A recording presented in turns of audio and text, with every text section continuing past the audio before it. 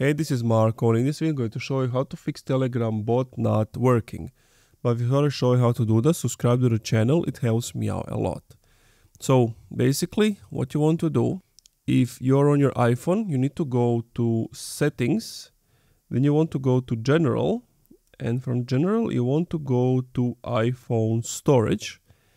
Then you need to wait for it uh, to load up and once it loads up you need to find telegram since these bots are on telegram telegram should be somewhere over here uh,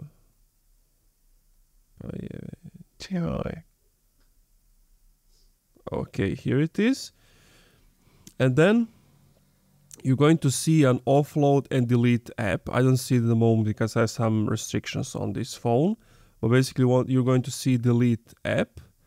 And another way is to go to your app store, search for Telegram and see if there's an update needed. If needed, update it before deleting it, of, of course. And if you're on your Android, go to the Google Play Store, at the top right click on your name, manage your apps, find Telegram, and then update it if needed or reinstall it, install it again, and that should fix the problem.